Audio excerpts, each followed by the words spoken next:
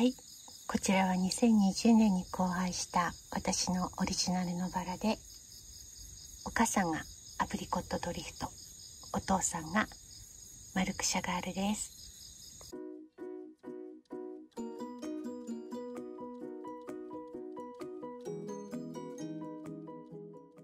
お花色はオレンジがかったピンクですね。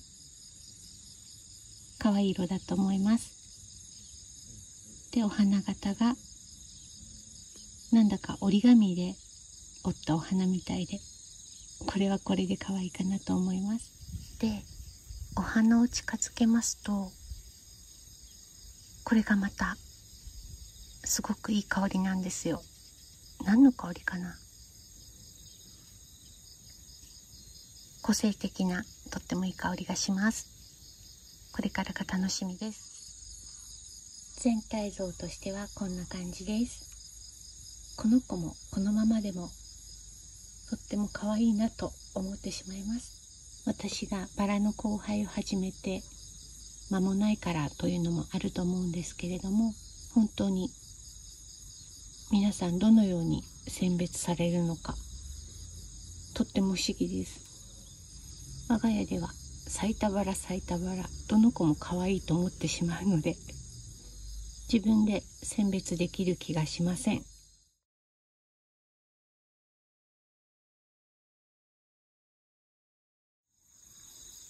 はい。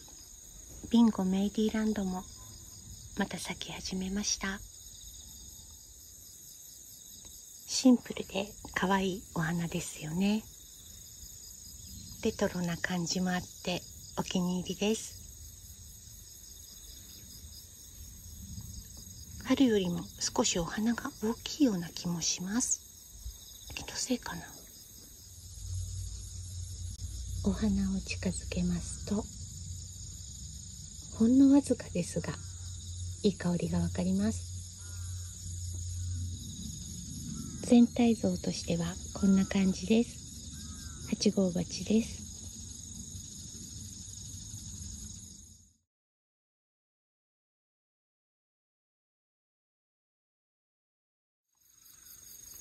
はい。こちらは国枝先生の美咲ちゃんです。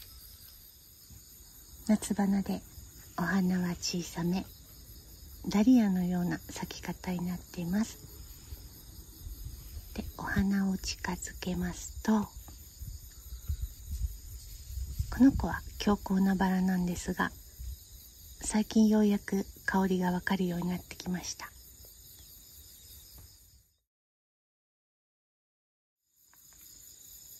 長年大きくできずになかなか咲かせられなかったバラでここ2年ぐらいオルトランをやめたこともあってか咲いてくれるようになってきたのですが香りがなかなか分かりませんでした。その香りもだんだんと分かるようになってきました。とってもクラシカルな香りがすると思います。全体像としてはこんな感じです。6号鉢で育てています。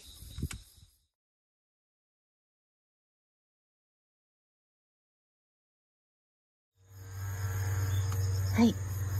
ロサオリエンティスのオデュッセイヤもまた咲き始めました。夏花だからかこの子もお色がいつもよりもライトな気がします。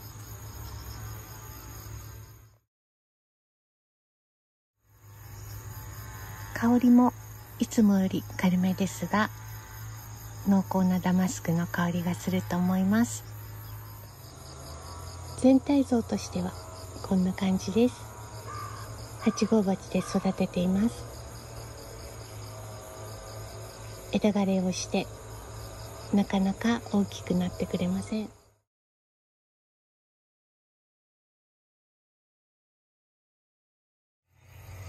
はい。鉢植えのアンジェラもまた返り咲いてくれていました。3番花です。お花を近づけますとかすかにいい香りがしています。全体像としてはこんな感じです。8号鉢です。たっぷりと茂っているグリーンもとってもみずみずしくて爽やかだなと思います。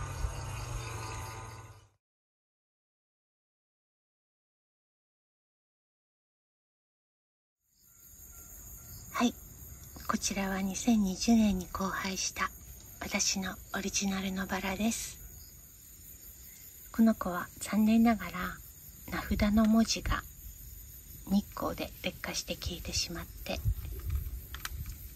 でかろうじて土に埋まっているところにお父さんの方の名前にチリアとだけ読めたのでお父さんはクチュールローズチリアということは分かってるんですけれどもお母さんの名前が完全に消えてしまってわからない状態になっています。残念ですね。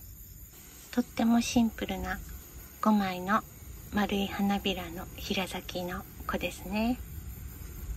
でお色が少し黒っぽい赤ですね。お花を近づけますと少しフルーツっぽい香りがするのかな？という感じです。全体像としてはこんな感じです。こんなに小さいのにこの子も整ったお花だなと思います。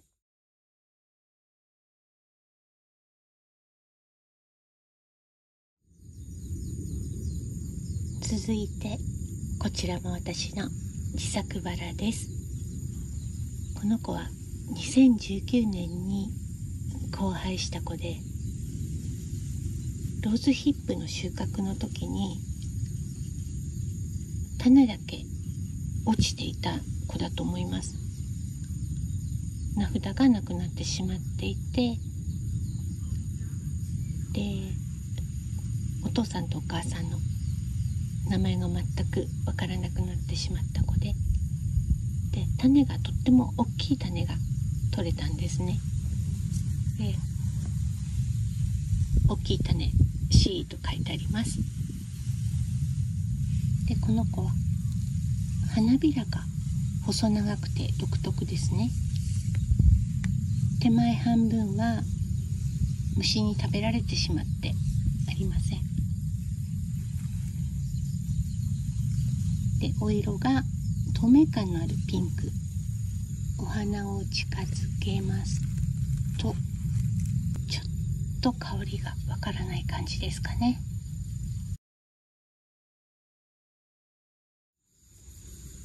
全体像としてはこんな感じです。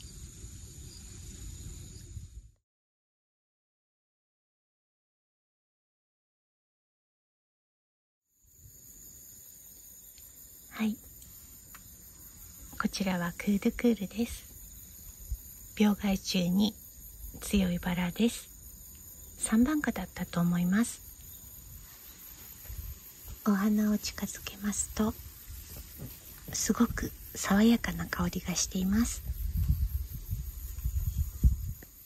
でこの子も我が家では割と虫に食べられてしまう子ですね。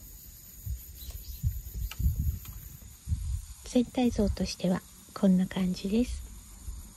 8号鉢で育てています。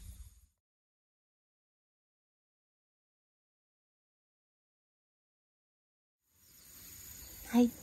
ルシエルブルーも3番花咲いていました。ここ最近はとても暑かったからか。お花がいつもの夏花よりさらに小さいような気がします。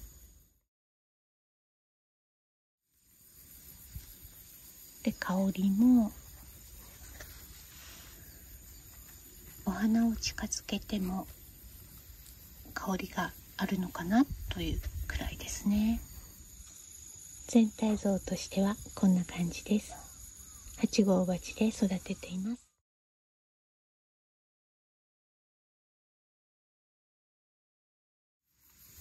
はい。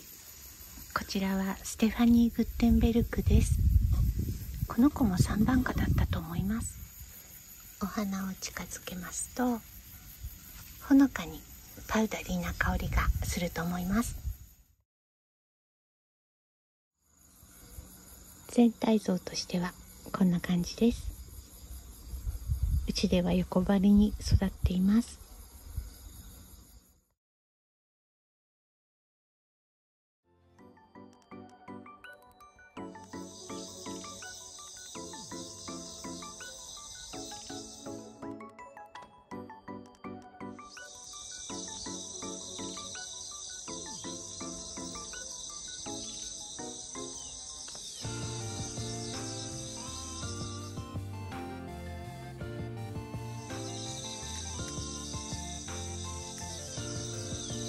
最後までご覧いただきありがとうございました。